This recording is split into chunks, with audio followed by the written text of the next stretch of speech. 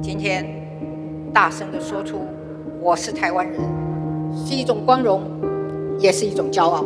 台湾成为世界的台湾，更要给世界一个更好的台湾。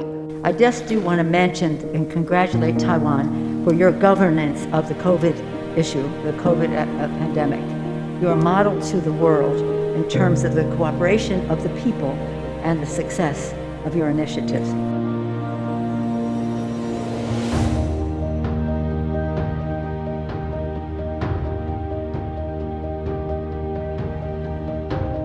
这一场防疫的工作，让台湾啊成为国际上公共卫生实力数一数二的国家。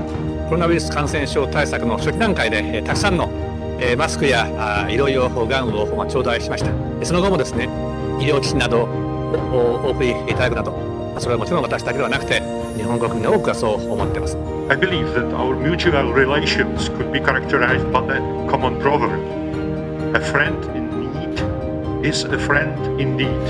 Taiwan helped tremendously during the first wave of COVID pandemic by sending medical supplies to the Czech hospitals and donated, donated several protective mask production units.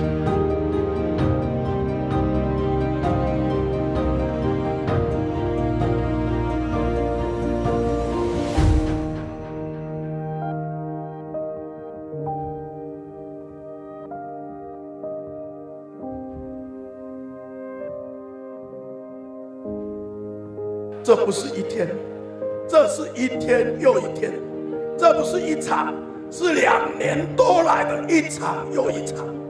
防疫指挥中心，防疫没有假期，没有周末，没有假日，没有过年，没有除夕，没有朝九晚五，是一天二十四小时。Sweden lot to learn f 虽然他说，作为台湾人，Among others, the way of dealing with the COVID-19 pandemic. I should uh, congratulate Taiwan for being the one place on earth which has best tamed this COVID beast and has managed to do it without any major restrictions on economic activity and human freedom. 两年多的防疫过程中，我们看到我们的医疗和公卫体系已经展现出对于危机应变的经验和能力。 至今，亚洲在二零二二年一月发表的至今，COVID-19 复苏指标，台湾在一百二十个国家当中是排名第一。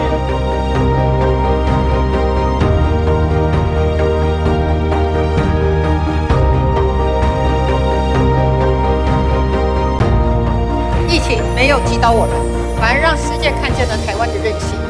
台湾和世界各国之间也将恢复正常往来。这也意味着我们将摆脱疫情的阴霾，迈向正常生活。